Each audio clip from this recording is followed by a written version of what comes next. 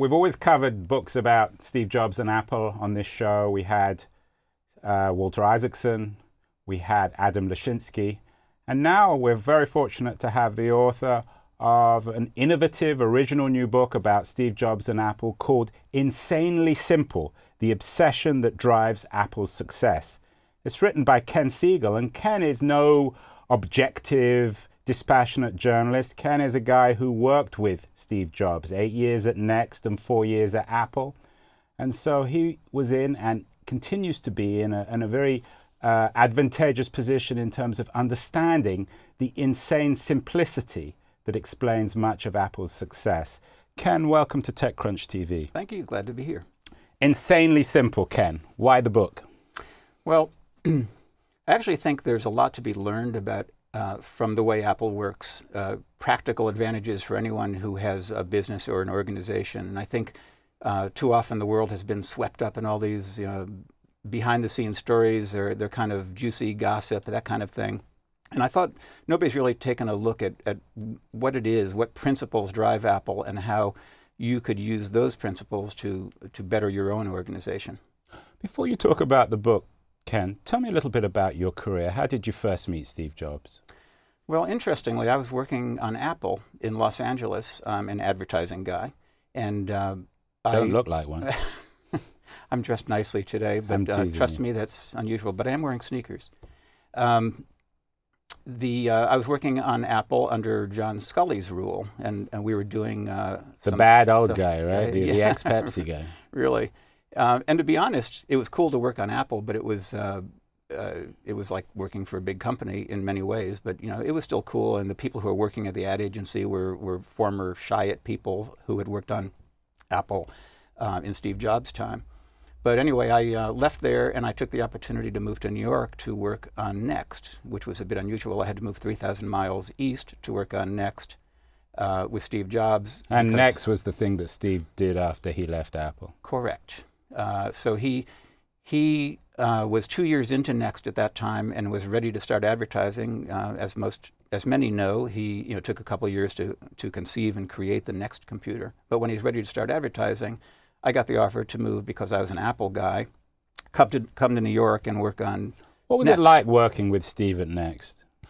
Um, well, it's interesting. You know, like a lot of things in life, it's interesting only when you look back at it. I mean, obviously it was interesting at the time as well, but looking back to see how Steve uh, behaved and how, how he acted with a brand new company. You know, he had, he was somewhat, you know, humbled by having, you know, by the way it ended at Apple, and was suddenly a man, you know, with a new company and had had to uh, inspire a whole new set of, of uh, employees and, and create a new vision and just really start from scratch. So it was it was just interesting to see him in that environment, you know, versus what he became later when I worked with him at Apple. I assume though you you were witness to some of his notorious meltdowns.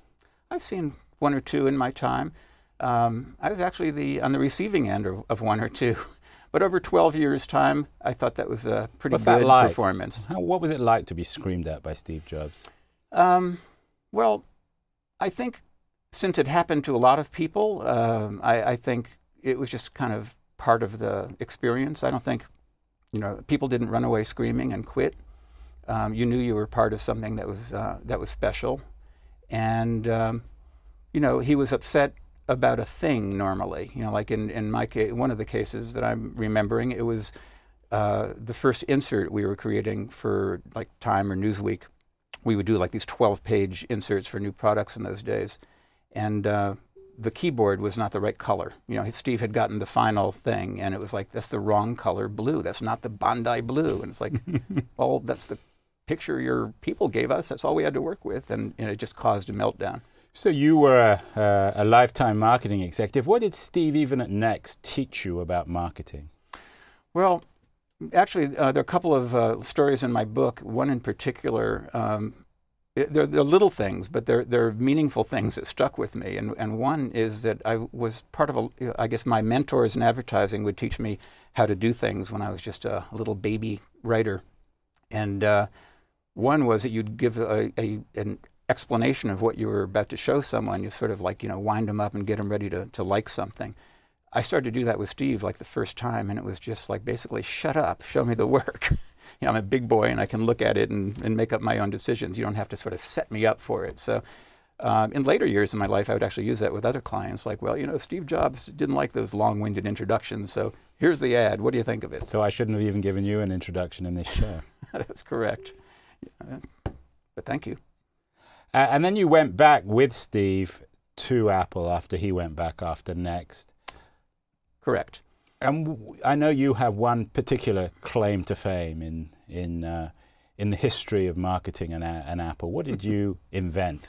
Well, I will humbly confess that I'm the guy who came up with the i thing. I, invent, I came up with the name iMac, and uh, it was uh, not uh, a simple thing to do. Although, again, in hindsight, it's like obviously iMac, Internet, new Mac. I mean, it makes a lot of sense. But at the time, you know, things never seemed quite that easy. And Steve actually hated the name, and we had to go back and forth a few he times. He hated it.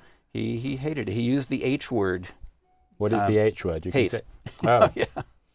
So. Um, uh, well, there was nothing in between love and hate for Steve, right? No, you went straight from hate to love, didn't correct. you? Or from love to hate. I think that's generally the case. You know, we'd show. You know, there were a lot of uh, commercials that we'd show him that was like, you know, I don't like it. It doesn't do anything for me, and you know, I want something, you know, something else. And then uh, you might try a few new things and come back to where you were, and he's perfectly happy with it. But you you needed to explore you know new things before he would be happy with the first. I thing. hope you copyright you copyrighted the i. I've often thought that you know, you know, had I gotten a mere 0.001 of a cent per item, I might do all right. But no, unfortunately, uh, one must sign one's life away when you work at an ad agency. Well, Ken, the the I concept, of course, is insanely simple, and it's one of the the great marketing achievements of Apple. Talk to me more about this idea of um, insane simplicity. What is it, and why does hmm. it drive Apple? Well, it's a very good question. Um, and I think to me, um, like I say, this was really, this, this book is the result of, of years of, of observations in that, you know, it's like, uh, again, one of the things that seems simple in hindsight. Um, but it's hard to write about something as simple as insane simplicity. It, it is. I mean, because, you know, one of the ideas that it's not easy to be simple and it, it, it looks simplicity has this bad habit of looking so simple and looking so obvious that anybody could do it, but obviously it takes a lot of work, and, and you know Steve and Apple are a good proof of that. But I think uh, the great thing about simplicity in Apple is that you can literally see it in everything Apple does. I mean, obviously it's in the products, and that's why the products are popular, but um, but it's in the way the company is organized and it's in the it's in the advertising. And that was one of the things Steve used to do with with our ads. Is like it's it's too complicated. You know I, I it's got to be simpler. So um, and we thought we were being simple you know but it wasn't quite simple enough for Steve. So he wanted things uh, you know I, I, think pretty much any opportunity he had uh, about anything products organization advertising he would take the simpler path. That was just you know part of him. It's paradoxical. There are few men of the last century who are more complex than Steve Jobs, and yet right. he was capable of such remarkable simplicity when it came to his products. I'm guessing that the mental process is, is key in terms of realizing simplicity. Is that fair? I think so. And I think um, another conclusion I draw, which might be uh, too simple, one, if there's such a thing, um, is that the right decision is very oftentimes obvious, um, and it's a question of sort of doing the right thing. I think Steve was really good at doing the right thing. And my experience at other companies like Dell and Intel and, and other places was that even if that path was obvious, you know, do we do, you know, path A or path B?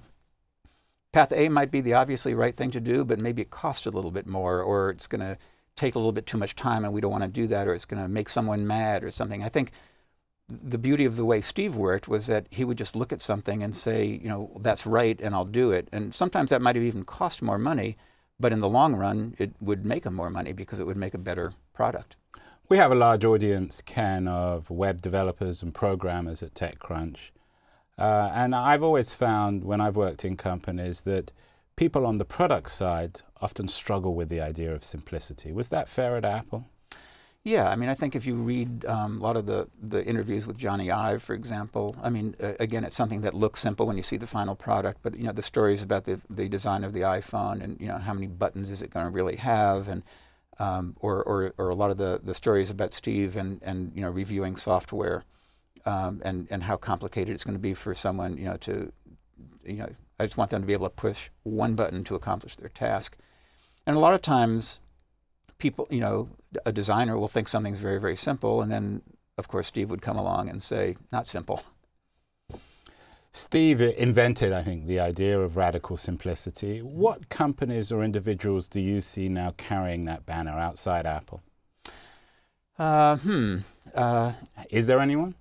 You know, it's hard to come up with one. I know. Um, you know, I mean, I, I'm I focus on, on you know Apple and its competitors, and, and I see you know in in the world of Android, for example, um, you know I, I see people trying to match features, but I don't see people trying to match you know that that simplicity, uh, you know the the part of, of the Apple product that really bonds with its customer, with its owner. You know, I mean, you you you you love your Apple product, whereas you know other uh, hardware makers tend to, you know, shoot for the features and, and not the love.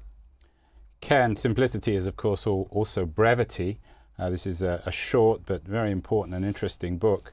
We have a lot of entrepreneurs, startup entrepreneurs watching us as well, who, who, who would like to um, include or, or, or, make their products, their services, uh, their, their companies insanely simple. And very briefly, in a minute, how do you do that? Well, I think um, you know when you think about simplicity and, and innovation, how do you how do you innovate it in a simple way? I think people tend to concentrate on the actual product or the idea.